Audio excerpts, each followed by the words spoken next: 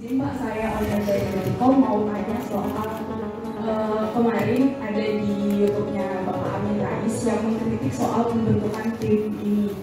Uh, Pak Amin Rais bilang tim ini sengaja dibuat untuk mengamankan uh, Jokowi.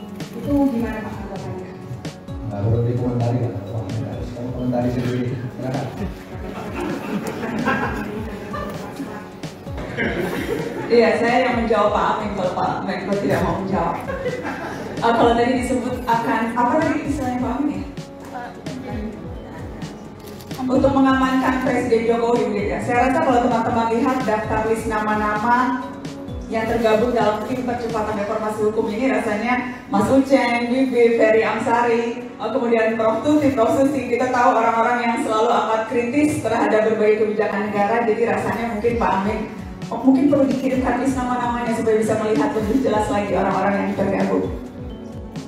Ketua Majelis Syuro Partai Umat Amin Rais sempat mengkritik tim percepatan reformasi hukum yang dibentuk oleh Mahfud MD. Ia menuding bahwa tim itu dibentuk untuk mengamankan Presiden Jokowi. Atas tudingan itu, Najwa Shihab selaku anggota kelompok kerja pencegahan dan pemberantasan korupsi tim percepatan reformasi hukum memberikan reaksi menohok Najwa Shihab menjawab tudingan itu saat konferensi pers di Kemenko Polhukam pada Jumat 9 Juni 2023. Mulanya Mahfud MD menyebut bahwa dirinya tidak ingin menanggapi kritikan yang disampaikan oleh Amin Rais tersebut.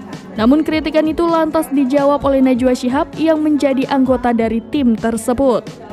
Ia lantas menyebut bahwa nama-nama yang tergabung dalam tim seperti Zainal Arifin Muhtar, Ferry Amsari hingga Bivitri Susanti. Najwa mengatakan bahwa sosok-sosok tersebut merupakan orang yang kerap mengkritik pemerintahan, sehingga tidak mungkin jika mereka bergabung untuk mengamankan Jokowi. Ia justru meminta kepada Amin Rais untuk mengirimkan nama-nama anggota yang dicurigai akan mengamankan Jokowi.